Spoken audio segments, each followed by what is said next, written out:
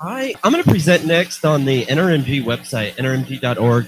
It, give me just one second to get this set up. In the meantime, can someone get me a cup of coffee, please?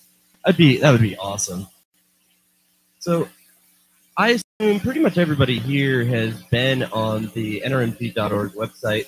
The uh, uh, the Grotto officers, it, especially myself, but everybody has kind of agreed that that we want to focus on the nrmg.org webpage. So, our secretary in action right there. That's some that, that's impressive. Thank you. Yeah, give it up for Carl. Oh, sweet. Do I have two? Wow, this is great. Um, thank you. Uh, uh, so so we uh, we agreed that focusing on the Grotto webpage was was really important, and uh, uh, basically, what with, with, us being a really spread out Grotto, this is our way to communicate, and uh, we need to have a, a, a webpage that anybody can input stuff into. So I've got a test account here uh, that I can show you guys, um, and uh, I want to go over some of the features here, and then I want to take some questions in a little bit.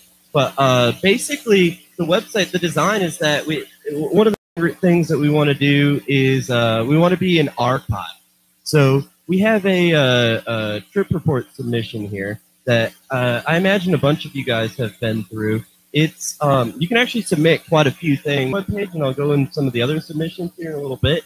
But uh, as a Grotto member, you're expected to submit a trip report, and it's really quick. It doesn't take very long at all uh, a day test. You don't have to uh, trip report or this stuff. We try to make it as easy and simple as possible. If you can just in there, even that goes a long way.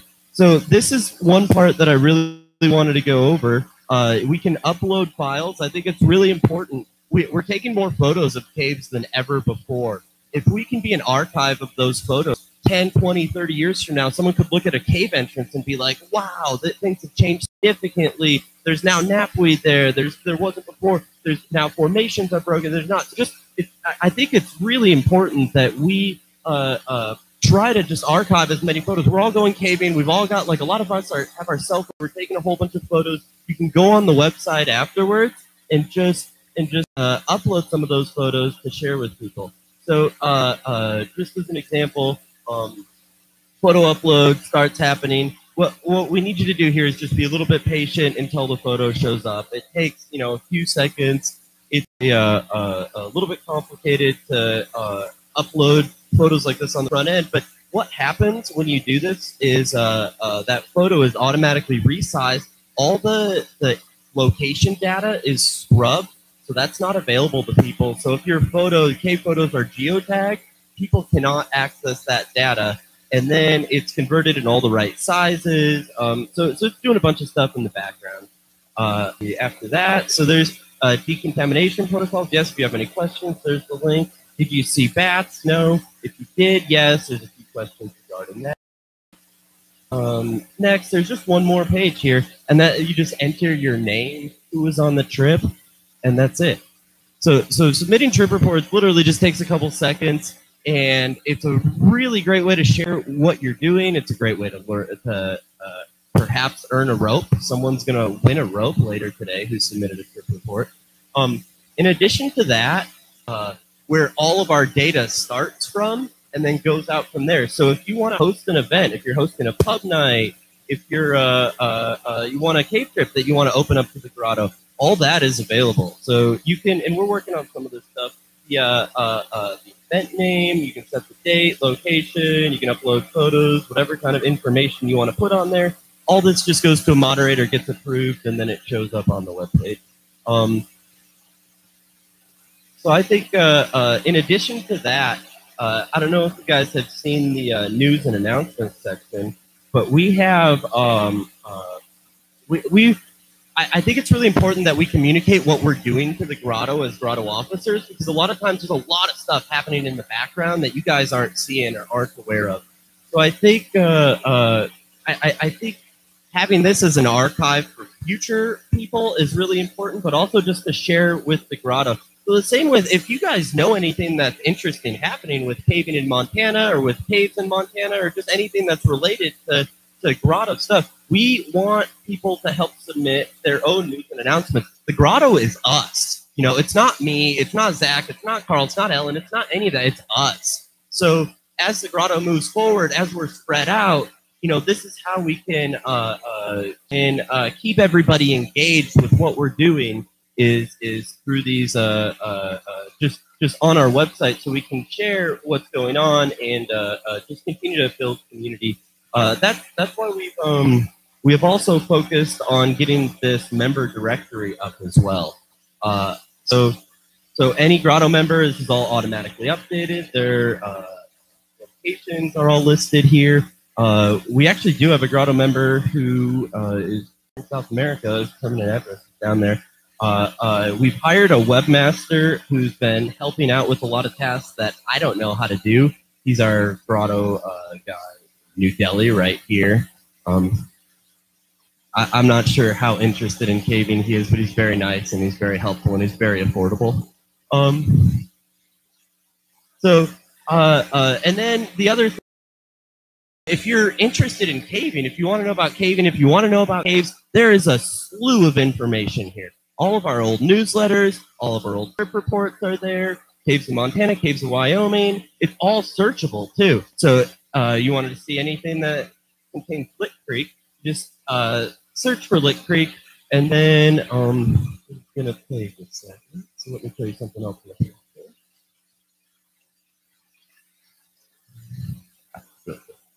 Um, so so as this shows up, uh, what it's between people who are logged into an account and people uh, just report it. You've got those photos that show up. Like here's all the uh, featured images that that show up. But if you're just general the public, they don't even get to see any of that. So they just get images from the news that's open to the public, but all the members only content is completely blocked off. So I think uh, as far as sharing chirp reports, uh, that you know people shouldn't be worried that this information is just going to go out to the general public or, or anything like that. That's the that's the message that they're going to get. It's it, it is only for Grottenberg. Um, let me show you. There's one other cool thing that, that we've got set up with uh, with with this. So when you look at uh, these photos, when they load at the bottom, they are uh, uh, they're they're completely protected as well. So you can't even right click and save these images. So it, it's uh, uh, your content is still yours, but I think for going forward that that we really want to focus on just continuing to uh, uh, improve this website. And at this point, I'd like to open this up to any questions or comments regarding nrmg.org. Has anyone run into any issues or anything like that? If there are, I'd love to talk to you privately after this.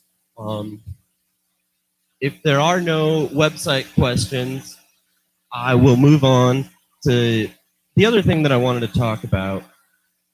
Yeah, go ahead. Carl, why are you crying? This is uh yeah, if you if you if you do go to the members homepage, you'll see there are uh, on the right here all the top traded top rated trip reports and uh, day for caving. Oh, it's not. So uh, I think if you guys do want to read a sad day for caving, it's a great trip report. And then if you uh, uh, if you go here, you can thumbs up, and uh, it'll pop up on the on the side, and everyone will see Carl's uh, Carl's exciting story. Um, so if we're all good there, thing that I wanted to was uh, cave camp.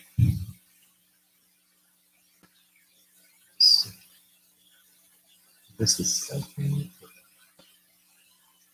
Second to open up. Great. So, what? Uh, I I might. I, I'm not planning on. I'm planning on moving to Wyoming this summer. So if we need to do, if we want to do cave camp, there's going to be a lot of. Uh, uh, we we need to have it to be a group effort. So I want to go over just, and it, it's going to be really tough, pro- probably impossible for us to get cave camp to occur without this. So uh, food and drink is the first one that I want to go over. And that is probably the most important position at Cave. Really easy if we had an unlimited budget because you just hire a caterer, but we don't have that. So you be working with a couple people that are just there to cook and work with cooking, uh, pre-making spaghetti and just things that are easy to make in large quantity. We have a commercial kitchen there. Um, so that's a very important position that we need to fill. Uh, Speleo Olympics coordinator uh, uh, is also a critical part of the event. Um, let's see, volunteer coordinator and attendee email communication. That's just the person who is going to be sending out emails, letting people know what's going on. As questions come in, they'll be directing them to the right person. And they'll also, all these people will be talking to the volunteer coordinator and telling them what positions they need. Hey, I need three people to take out the trash at this time. Things like that. Facilities coordinator is, is, is, I'm planning on that being myself. That's just going to be working closely with the local facilities, the Forest Service, all the all the groups that we're going to work with to make that happen. Uh, vertical safety and stunt coordinator is a very important position. We've included as well in that job title to try and make it sound cooler. Um, cave trip coordinator is an incredibly important position. We've got you know 100 people coming in from some people from across the country uh, uh, going on these trips. So we're trying to do that in a way that makes sense for the caves and make sense for the cavers as well. Uh, merchandise sales, those person will be arranging. We've got really cool shirts lined up. Uh, if we can make this happen this year, uh, so they'll be arranging some of that stuff. Media liaison and long-term documentation. Hopefully, they can reach out with press releases to the public for months in advance and try and get a lot of good press on it. And then long-term documentation so we can share this with other groups and uh, hopefully, I know there's other other organizations that was, that are interested in hosting their own cave camp as well. Um, see, so Friday Cave Cleanup Coordinator. That's at Lick Creek Cave, probably the most impacted cave in Montana. Uh, so I think it's really great that we go there and can do that. We need someone to organize that position. That's a very important one. All the workshop organizers. That's Saturday. There's workshops. Uh, two different main three and a half hour long workshops. So working with the, the teachers that we have, figuring out what their skills are, what our students need, and just helping organize all of that. Uh, registration and recruitment will be trying to recruit some of these uh, top level cavers to help lead some of these workshops like we have in the past. So they'll be working closely together. Silent auction guru is someone who's just going to help run the silent auction.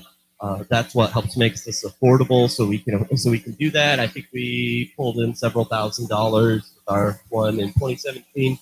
A sponsorship coordinator will be working closely with the silent auction guru to help acquire a bunch of things to put in the silent auction.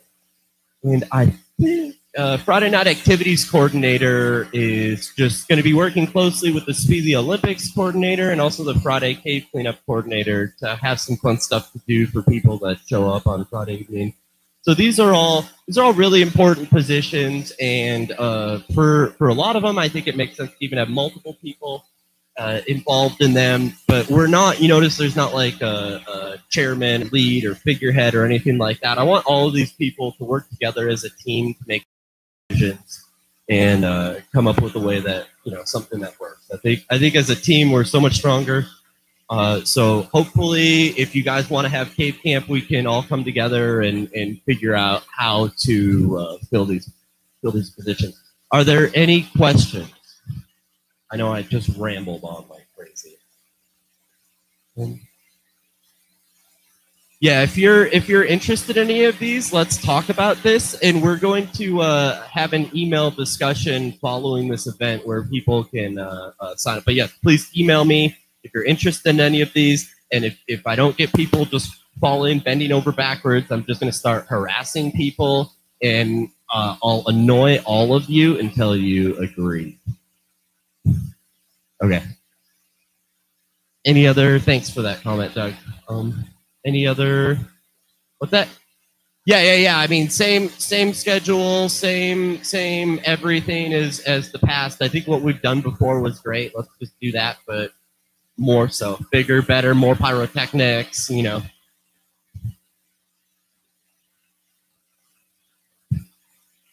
So I think.